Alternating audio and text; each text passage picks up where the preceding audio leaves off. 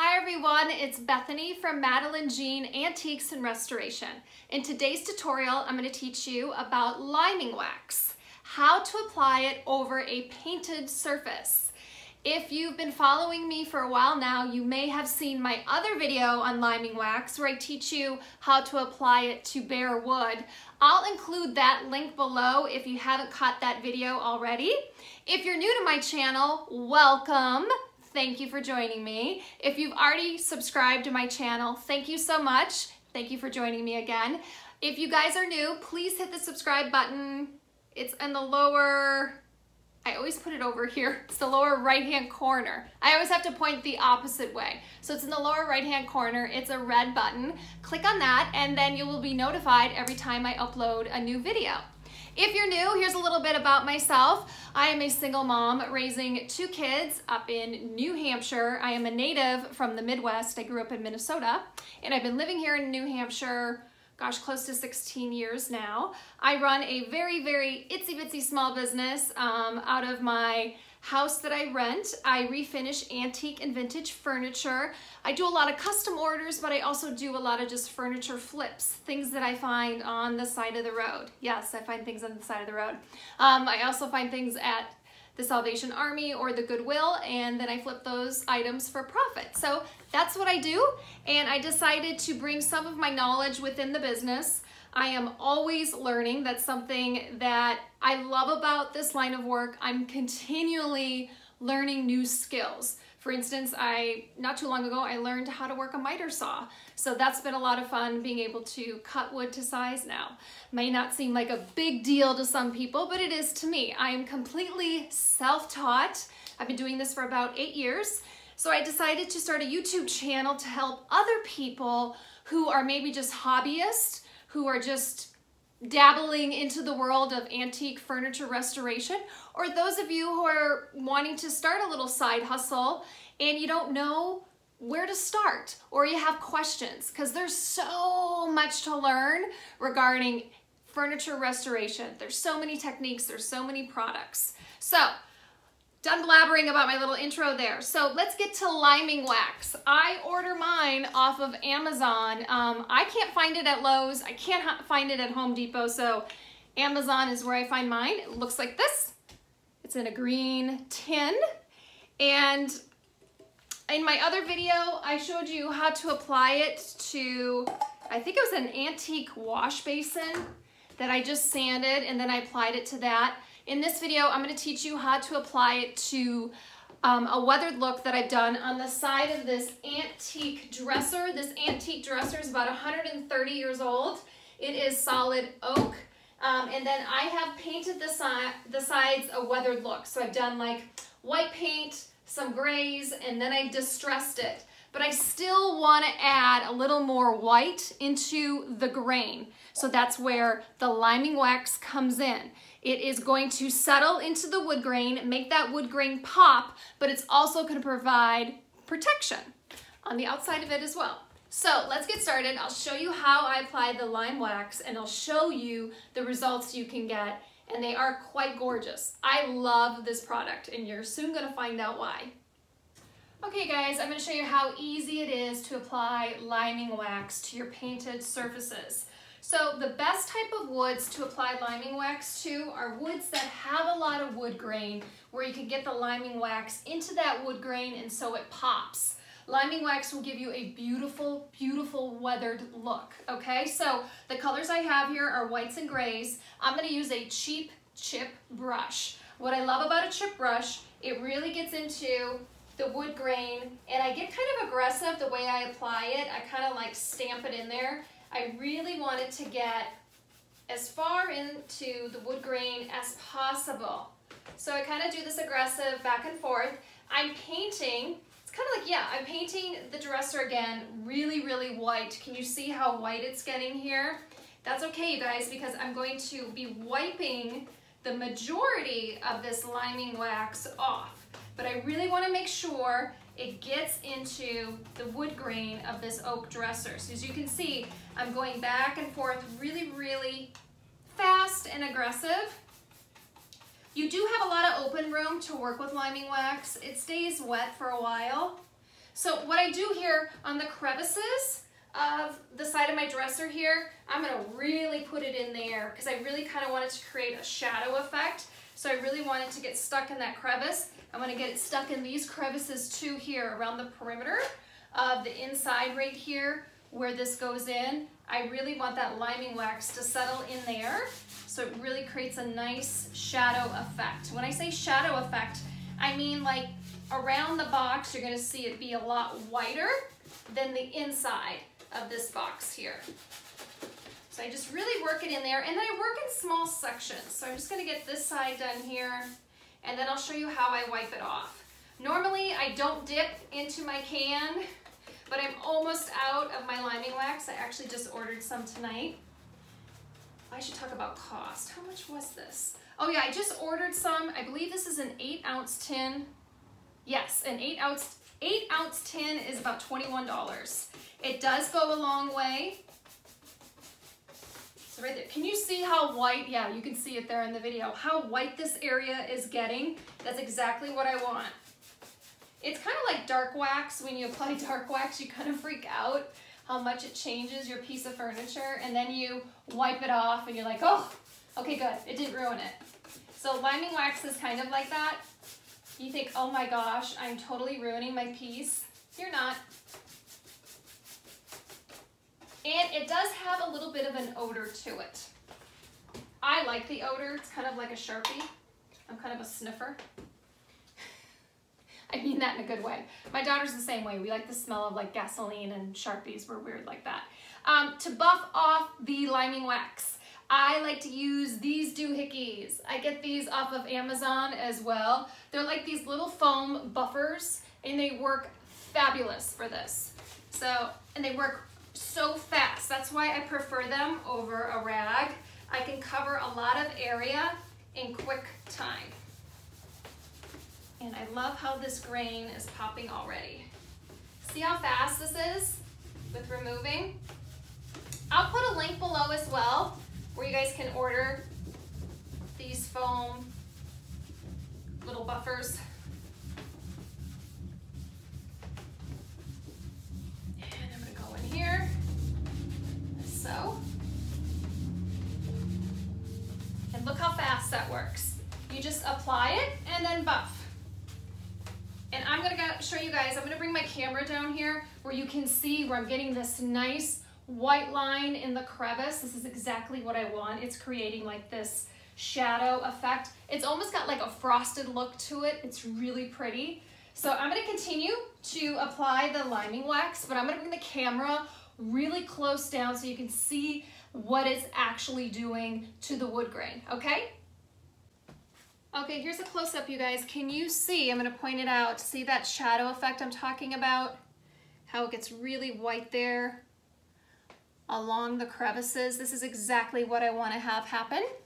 I'm gonna continue to apply my liming wax so you guys can see really close up what's happening here to the wood grain. I just love how it settles in that wood grain and it just gives you a really nice white finish. And you'll find some of your little chip brushes, you know, the bristles. That's the only bad thing about your chip brushes. That I'm getting like these little loose bristles that come off. It's okay. Just tell them to shoo. Hopefully they will. Okay, so right here, I'm gonna show you how I'm gonna buff that right now. And look at all that gorgeous white wood grain pop. I love it. Looks so pretty. Up here in New England, this look is really popular. People really like that weathered rustic look. So I anticipate this dresser, hopefully, will be going to a good home quickly. And here we go again. I'm gonna really get my brush into those crevices along the lines there. And like I said, this um, liming wax has like the consistency of Noxzema. That's what it reminds me of. It's creamy and it kind of has that smell. If you ever remember using Noxzema, I don't even know, do they still sell that stuff? I don't even know. I remember I used it a little bit when I was a teenager. Didn't really do much for me.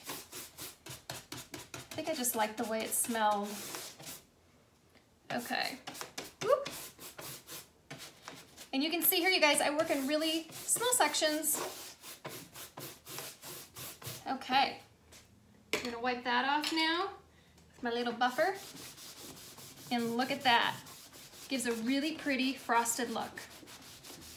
This is probably like my favorite look to create is a weathered whitewash look. A lot of people really like this look lately. So, so, so pretty.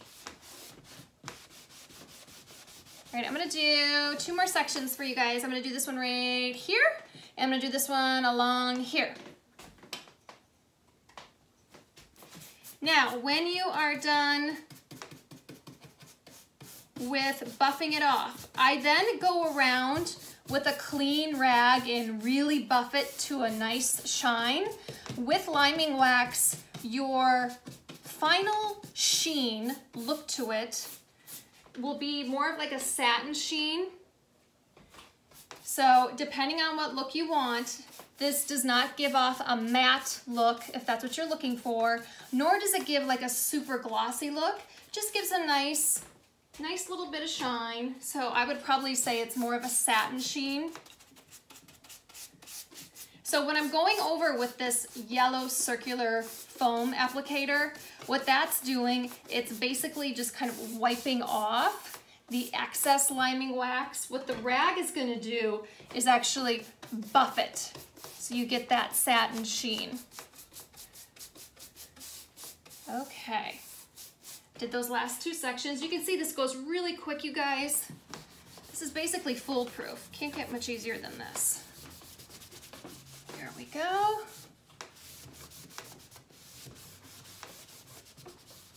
And then there's my last section there.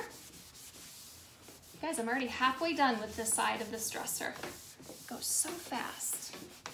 It's another reason why I love working with liming wax. It is easy to apply and fairly quick. Okay, you guys can see right here from my buffer pad, look how much is getting wiped off. Okay, so now I'm gonna go with my clean rag, the one I've been using today. And I'm going to now go across and buff. And I'm gonna push even harder and I'm gonna get that nice satin sheen coming out. It's really pretty.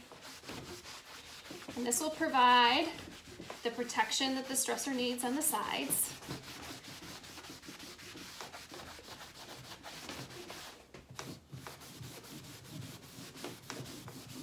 So pretty. And you'll know it's not buffed and where it's not because your rag will kind of skip on a spot. That'll tell you that it needs to be buffed a little more. It should, you'll know when you get it buffed because it'll go super smooth.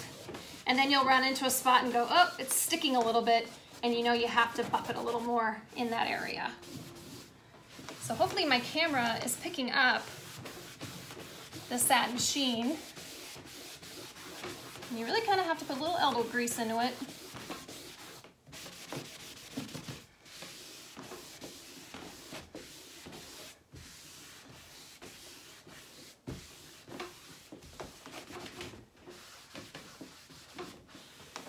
Okay. And I'll give you guys a close-up video of the wood grain after here, after I've buffed it. Okay. All right, I think that half of it is done. Voila! Easy peasy lemon squeezy. There you be. Okay guys, here is the half of the dresser that I just did with the liming wax. Can you see the sheen? You can see it with my ring light, the reflection going off it. You can see those shadow areas with the liming wax there. Then I want to show you what the other half looks like without the liming wax. Can you see how it's duller? I mean, it's still pretty, but you can just tell it's just missing something. And then you can see here with the liming wax, it just adds that extra level of pizzazz that you need. Hey everyone, that concludes my video on liming wax. This is little Biscuit Boo Bear. He's our little doggy. And he always comes in my YouTube videos at the very end. Don't you, buddy? Don't you, boo-boos? He just wants some love. And he's saying hi. Um, you guys, I also finished up this antique, I don't know what this is. I don't know what type of piece of furniture this is.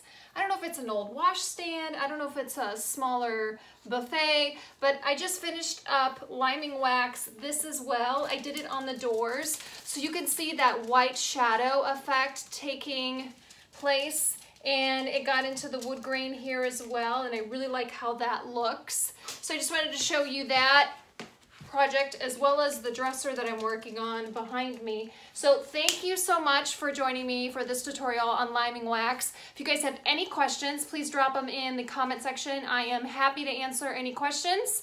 Um, I try to answer any questions that you may have um, as quickly as possible. I know some people have reached out to me um, on my Facebook business page. You can find me on Facebook at Madeline Jean Antiques and Restoration right there. You can also find me on Instagram. I'm at right here, bethany.youssef. I put all my before and after shots of all the projects that I'm working on on either Facebook or Instagram, so go check them out. You can go check out both these projects, which I probably will be photographing tomorrow, so I'll have those up. So go take a look at how the liming wax turned out on both these pieces. Till next time, you guys, I'll see you later. Bye-bye.